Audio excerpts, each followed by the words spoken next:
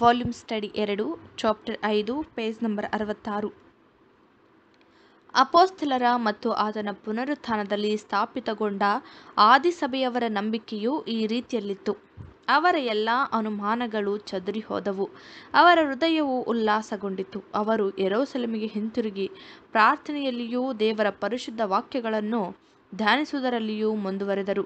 ತಂದೆಯಿಂದ ವಾಗ್ದಾನ ಮಾಡಲ್ಪಟ್ಟ ಆತನ ಮಕ್ಕಳ ಸ್ಥಾನಕ್ಕಾಗಿ ಆತ್ಮಿಕ ತಿಳುವಳಿಕೆಯ ಅವರ ದತ್ತಿಗಾಗಿ ನಿಜವಾದ ಇಸ್ರೇಲರನ್ನು ಮನದಟ್ಟುಪಡಿಸುವ ಅದ್ಭುತ ಶಕ್ತಿಗಾಗಿ ಸುವಾರ್ಥ ಸಭೆಯನ್ನು ಸ್ಥಾಪಿಸುವುದಕ್ಕಾಗಿ ಅವರು ಪಂಚಶತಮ ಹಬ್ಬದಲ್ಲಿ ಕಾಯುತ್ತಿದ್ದರು.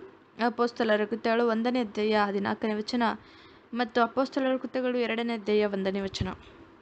ನಮ್ಮ ಕರ್ತನು ತನ್ನ ಪುನರುತ್ಥಾನದ ನಂತರ ನಲವತ್ತು ದಿವಸಗಳಲ್ಲಿ ಪ್ರಕಟಗೊಂಡಂತೆ ಆತನ ದ್ವಿತೀಯಾಗಮನದಲ್ಲಿ ಪ್ರಕಟಗೊಳ್ಳುತ್ತಿದ್ದರೂ ಆತನು ತನ್ನ ಸಹೋದರರನ್ನು ಅಂಧಕಾರದಲ್ಲಿ ಬಿಟ್ಟು ಬಿಡುವವನಲ್ಲ ಎಂಬ ಭರವಸೆ ನಮಗಿದೆ.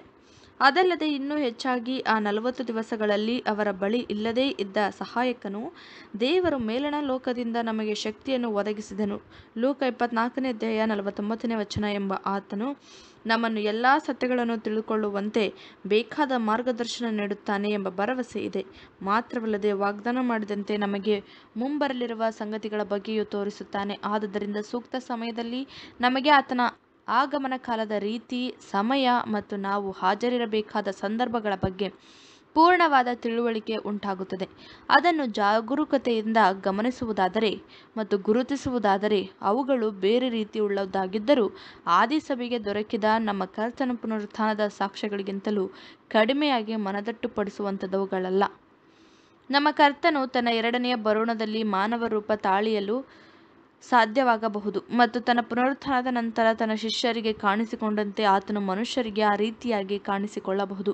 ಇದರಲ್ಲಿ ಯಾವ ಸಂದೇಹವೂ ಇರುವುದಿಲ್ಲ. ಆತ್ಮಿಕ ಜೀವಿಗಳು ಹಿಂದಿನ ಕಾಲದಲ್ಲಿ ಆ ರೀತಿಯಾಗಿ ಮಾನವ ಶರೀರಧಾರಿಗಳಾಗಿ ಅಥವಾ ಬೇರೆ ಬೇರೆ ರೂಪದಲ್ಲಿ ಕಾಣಿಸಿಕೊಳ್ಳುವ ಶಕ್ತಿಯನ್ನು ಪ್ರಕಟಿಸಿದ ಕಾರಣ ಆತನು ಸಹ ಆ ನಲವತ್ತು ದಿವಸಗಳಲ್ಲಿ ಆ ರೀತಿಯಾಗಿ ಕಾಣಿಸಿಕೊಂಡನು. ಆದರೆ ಅಂತಹ ಪ್ರಕಟಣೆಯು ದೇವರ ಯೋಜನೆಯ ಸಾಮಾನ್ಯ ಸ್ವಭಾವದ ಸಾಮರಸ್ಯ ರೂಪಗಳಿಗೆ ಹೊರತಾದದು ಹಾಗೆಯೇ ನಾವು ನೋಡಲಿರುವ ಆತನ ಪ್ರಕಟಣೆಗೆ ಸಂಬಂಧಿಸಿದಂತೆ ನೀಡಲ್ಪಟ್ಟ ಆತ್ಮಿಕ ಸೂಚನೆಗಳ ಸಾಮರಸ್ಯಕ್ಕೆ ಹೊರತಾದುದು ಬದಲಾಗಿ ಇದು ಆತನ ಆತ್ಮಿಕ ರಾಜ್ಯವು ತನ್ನ ಪ್ರಸನ್ನತೆಯನ್ನು ಮತ್ತು ಶಕ್ತಿಯನ್ನು ಮಾನವದ ಮೂಲಕ ಈ ಲೋಕದ ಪಾರುಪತ್ಯಗಳ ಮೂಲಕ ನಿವೇದಿಸಬೇಕು, ಕಾರ್ಯಗತಗೊಳಿಸಬೇಕು ಎಂಬುದು ದೇವರ ಯೋಜನೆಯಾಗಿದೆ. ಈ ಲೋಕದ ಅರಸನಾದ ಸೈತಾನನು ಮಾನವರ ಕಣ್ಣಿಗೆ ಗೋಚರಿಸದೇ ಹೋದರೂ ಆತನ ವಶದಲ್ಲಿರುವವರ, ನಿಯಂತ್ರಣದಲ್ಲಿರುವವರ ಮೂಲಕ ವ್ಯಾಪಕವಾಗಿ ಪ್ರಭಾವವನ್ನು ಕಾರ್ಯಗತಗೊಳಿಸುವಂತೆಯೇ ನೂತನ ಸಮಾಧಾನ ಪ್ರಭುವು ತನ್ನ ಪ್ರಕಟಣೆಯನ್ನು ಶಕ್ತಿಯನ್ನು ಆತನ ವಶದಲ್ಲಿರುವ ಆತನ ಆತ್ಮನಿಂದ ನಿಯಂತ್ರಿಸಲ್ಪಡುವ ಮಾನವರಿಂದ ಕಾರ್ಯಗತಗೊಳಿಸುತ್ತದೆ. ಸ್ವಾಭಾವಿಕ ಕಣ್ಣುಗಳ ಮೂಲಕ ನೋಡುವುದಾಗಲಿ, ಸ್ವಾಭಾವಿಕ ಕಿವಿಗಳಿಂದ ಲಾಲಿಸುವುದಾಗಲಿ, ಎಲ್ಲವನ್ನು ನೋಡಿದಂತೆ, ಕೇಳಿಸಿಕೊಂಡಂತೆ ಆಗುವುದಿಲ್ಲ. ಇದುವರೆಗೆ ಯಾವ ಸಮಯದಲ್ಲಿಯೂ ದೇವರನ್ನು ಯಾರೂ ಕಂಡಿಲ್ಲ ಅಥವಾ ಅದರ ಆತನ ಧ್ವನಿಯನ್ನು ಕೇಳಿಸಿಕೊಂಡಿಲ್ಲ. ಆದಾಗ್ಯೂ ಎಲ್ಲ ದೇವರ ಮಕ್ಕಳು ಆತನನ್ನು ನೋಡಿದ್ದಾರೆ, ತಿಳಿದಿದ್ದಾರೆ, ಆತನ ಅನ್ಯೂನ್ಯತೆಯಲ್ಲಿದ್ದಾರೆ.